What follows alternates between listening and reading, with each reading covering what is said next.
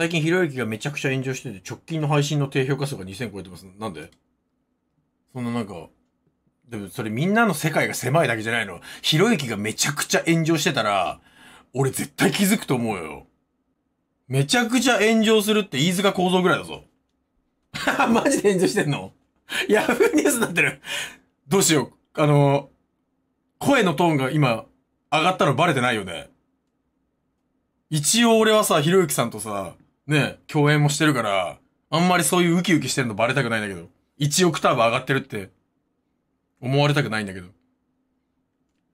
最近西村ひろゆきを知った人が、なんかさ、すごい人格な、人格者なんじゃないか、みたいなのを、を感じて、なんかやってんじゃないの？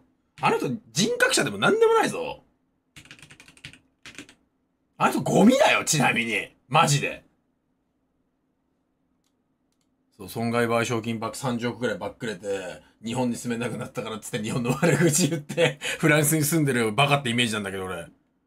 じゃないの？勝手に担いでさ、なんかいざ自分が、そうい、絶対そうだろ。ひろゆきさんってゴミだよ、マジで。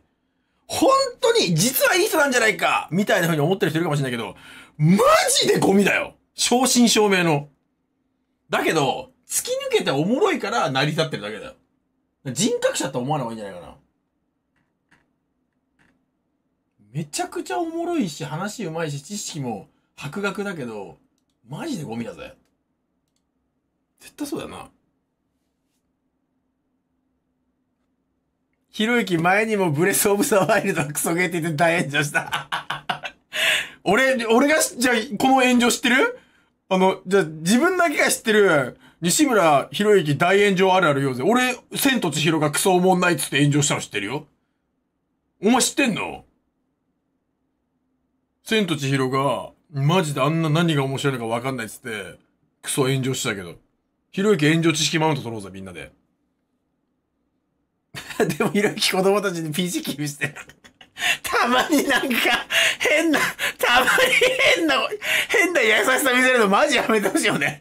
しかも、あん時のひろゆきさん、むちゃくちゃ正義感なかった。ねえ、なんでさ、子供たちにパソコンもう引くに引けねえみたいな、なんかあるんだよ。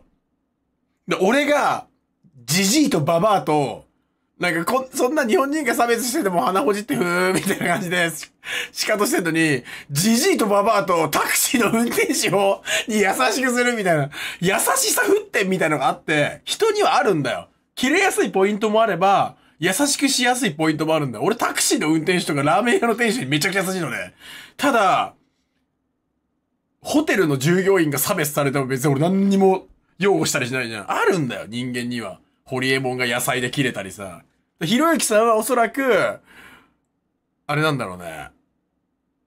子供、養護施設に対して、ハードルが低かったんだろうな。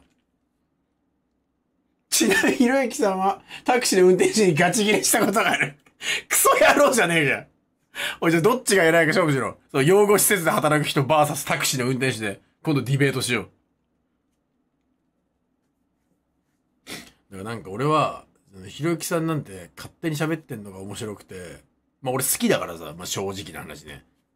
面白がって見てんのに、なんか、くだらねえ、ゴミどものせいで、なんか面白いこと言わなくなっちゃうんじゃないか心配、そっちの方が心配。まああの人に限ってそんなこと絶対ないだろうけど。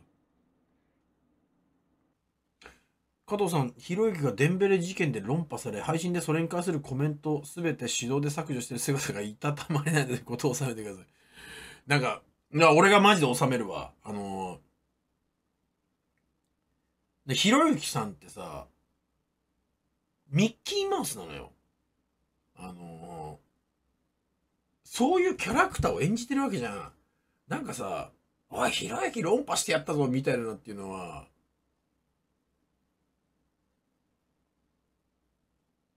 なんか俺ちょっと、おかしいと思う。で、あ、ちょっと待って、ちょどうでもいいわ。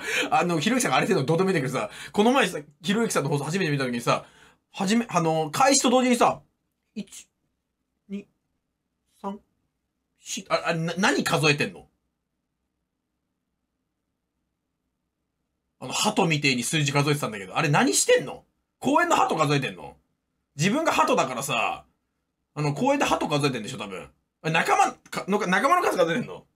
毎回やってない？あれ。あれ何？あれラグのチェックしてんだ。うーん。鳩の数数えてるわけじゃねえんだ。ひろゆきの低評価が500から2000に増えさ、お前もう、でも、でもは、で、もう、お前の頭の中、もう一番ダメだぞひろゆきでいっぱいな頭の中が一番ダメ前日のひろゆきの低評価を覚えてるやつはもう今すぐ都立松田病院って頭がおかすんですって言え。一番ゴミだからね。ひろゆきの低評価数えてるやつ。もう人生マジ終わってるから、気にすんな、あんなやつ。マジで。ひろゆきさんは、ね、適当なんですよ。あの、ちゃんと、真面目に相談してくれてると思ってるでしょ、みんな。昔からのひろゆきさん知ってる人は分かってるよ。何にも考えてないよ、あの人は。やめろ。今回惨敗だったから叩かれてんだ。